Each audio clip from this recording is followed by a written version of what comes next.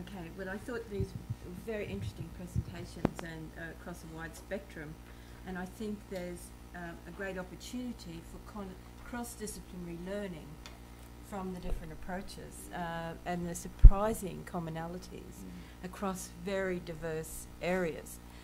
Um, I'd like to pick up the issue of diabetes. I thought, thank you very much. It was an excellent presentation. Um, um, diabetes, actually, it, I, I would challenge whether it's a prototype disease. I would say it's a legitimate disease. And it's legitimate because it fits the biomedic, biomedical model perfectly. Here you have a biomedical dysfunction that's really legitimate and it's proven and it might be complex and involve complex systems, which might ask you to question whether there's a, such a diagnosis as diabetes. Uh, we lump everything under one taxonomy.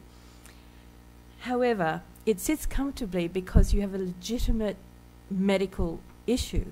And then recognizing the need for people to make change and to control their own health, it moves into the psychosocial and environmental.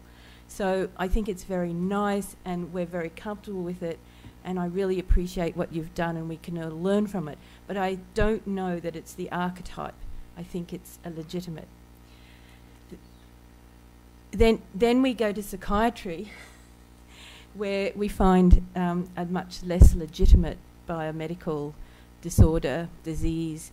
Um, here we have psychiatry looking for its biomedical base and being challenged because the problems are in the psychosocial and environmental area, lacking the biomedical connection.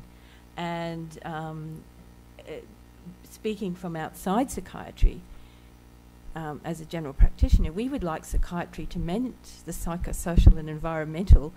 And I think the focus on the biomedical is, is, is, is, is very problematic.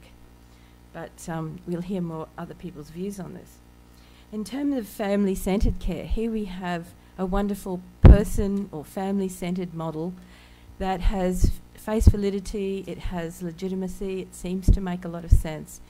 But the operational, the operation of psychosocial um, centred management is more challenging than people think because we've got wonderful, in my PhD, I did work on this, that what you've got is legitimate, where you've got pathways for the legitimate biomedical management.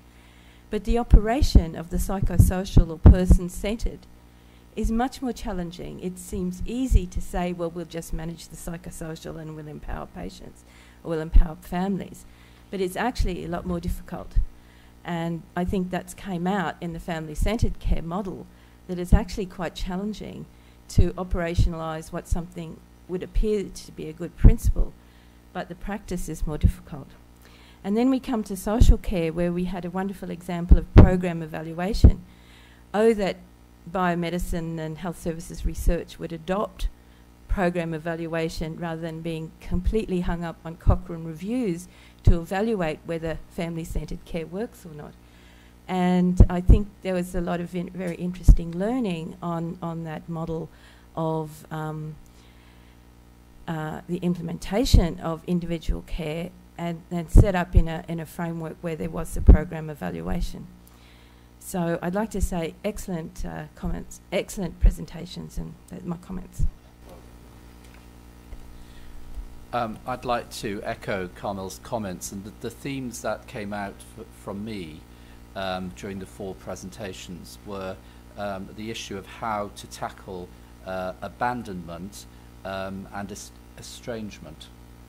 And what I really found interesting about um, the first presentation uh, on the complexity of managing diabetes and managing individuals you have with diabetes is that, um, for me at least, um, you managed to demonstrate the issue and the challenge um, the complexity of, of trying to um, uh, support individuals who have diabetes um, whenever they develop it. Um, and I also felt uh, very clear that you demonstrated the risk to the individual um, if, um, you know, if a smart approach is not implemented. and certainly thinking about if I were diagnosed with the disease of diabetes, uh, the thought that there was a framework within which um, my uh, team could actually work within, that, that was visible to me as an individual patient, would to me make all the difference and would probably really support me to be able to um, do my part in actually managing my disease and support my physicians and nurses. And it would be predominantly clinical nurse specialists, I think, who would be supporting me, that would be my choice, um, with reference to the specialist diabetes team. So from my perspective, that, uh, if you like, that, um, that engagement with individual people through the SMART goals spoke to me very well about how to actually manage what is a very complex uh, uh, situation. Um, I thought Linda um, described very well um, how um, particularly um, nurses, and I would challenge that all members of the children's team um, don't focus on the child, but I'll come back to that. Um, it is very easy when you're um, in the midst of um, a busy children's ward to start expecting parents to take the role of prime carer with probably minimal support.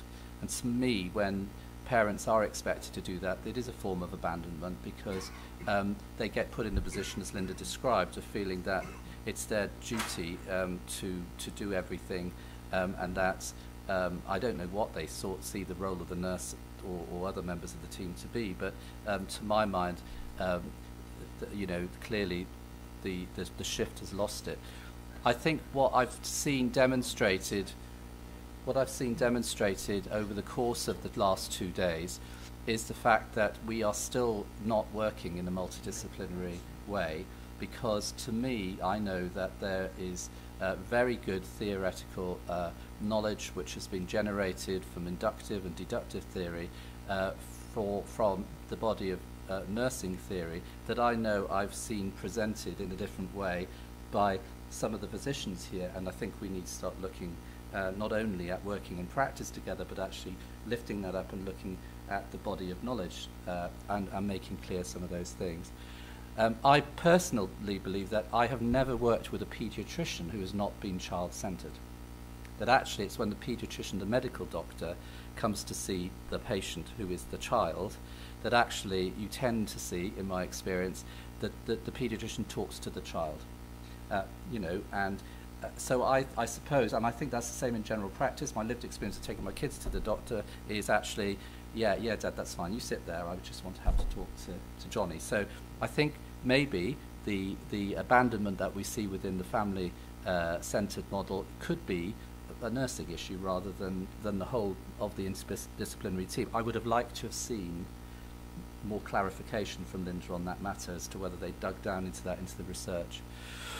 When it came to um, when it came to the the, the, the, the, the, Rogers presentation, the first thing I'm going to do when I go back uh, to Cambridge is I'm going to change or propose to the team we change the name of our rehab assistants because um, I really, it struck me that the, the cultural change and the philosophical change you made was that in health healthcare support workers became personal assistants to the client. So you've definitely put the client at the centre.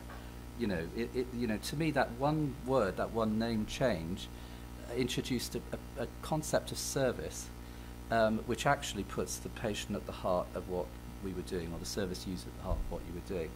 Um, so for me, we saw, and, and I think what I saw demonstrated is the work that you've done is to um, become, to no longer be estranged from the client group that you're working with, but actually to re-engage and renegotiated that relationship. So I thought the whole, the themes that ran through, and I'm sorry for taking so long, were excellent. For the four speakers and one remotely, of course, but uh, uh, it's really quite good uh, uh, care groups and indeed disease focus presentations. One thing, Professor, is about the issues of diabetes. I mean, this is a huge conflict between guidelines, and as you know, government now very keen on guidelines. Actually, professional bodies are very keen on guidelines. They are becoming more like protocols than guidelines, you know, and uh, restricted in many way a lot of uh, the freedom uh, which we need to uh, actually adopt in dealing with some patient depend on age and situation, etc. But what I see, I know your slide showing a little bit out of date guidelines, you know, some of the new guideline in 2013 from American Diabetic Association and WHO study put higher level for uh, A1C, you know, and, and that, yeah, much higher. And actually, they give much more flexibility with older ages. I mean, uh, some of the uh, ADA talking about doesn't matter if it's eight, you know, if, if it's suitable for the patient, you know. So I, I, I know your clinician not necessarily in diabetes not necessarily agree on something which is solid, you know. Uh, that's the fluidity of the subject itself, you know. But I, I see there are a lot of actually conflict between person center and indeed following guidelines. And I don't know how to bridge between the two, you know. And uh, diabetic patients, especially now, we are training them as expert patients, you know. Uh, we, we, we're spending a huge amount of money and, and that sort of controlling the personal care themselves, you know. I know the title may not be nice, but this is how we call them in the UK, as you know, expert patients, you know. And they are really pushing the agenda a little bit more toward giving the power to the patients. I mean, our diabetic, as, as far as in my area, I recall, about 80% control and maybe even much higher than that, you know, from the studies uh, uh, actually published by Prof. Prof. Majeed, uh, uh, Azeem Majeed on, on diabetes control. Maybe more than 85% actually managed extremely well by GPs. So how can we balance between these two conflicts?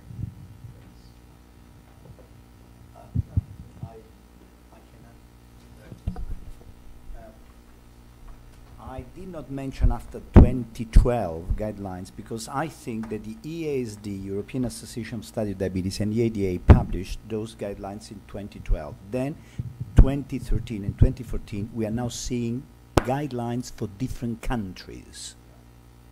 So uh, we should go all over the world with the Spanish guidelines that differ from the Italian guidelines, just to give you an example, because the government imposes certain choices. So I think we are lost. We are lost because at that stage we are lost because we can talk as much as we can, but we are lost because if you give metformin or sulfonylurea that costs three euros, or if you give the new GLP-1 analog that costs 70 euros, but in order to give those drugs, you need to have a, G, a glycated hemoglobin between 7.5 and 8.5. That is becoming a nightmare. Honestly, it's a nightmare, and.